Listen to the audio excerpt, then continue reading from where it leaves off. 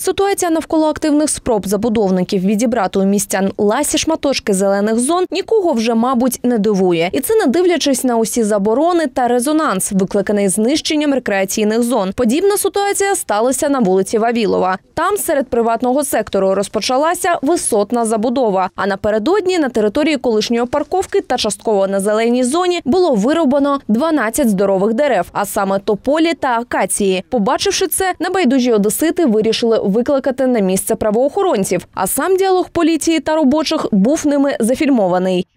Я не боюсь ответственности. Не боитесь? Не, вообще не боюсь.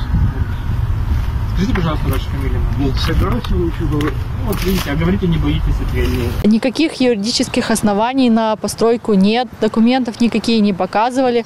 Э, Деревья просто уничтожаются за полдня, и никто за это не несет никакой ответственности. Полицию, которую мы вызывали, приехала, сказала, да, э, это все незаконно, и, и уехала. Місцеві жителі впевнені, що скоріш за все роботи з вирубки дерев проводилися задля розширення території майбутнього будмайданчика. Во время приезда полиции никто эту работу не останавливал. Все ветки, которые они порубили за территорией этой парковки, они просто начали перекидывать туда. То есть они, по-видимому, собираются срубить э, следующий ряд деревьев и просто передвинуть забор для того, чтобы там еще больше захватить земли. И очередную высотку собирается на месте Кошвен детского, детской больницы, Кошвен диспансера.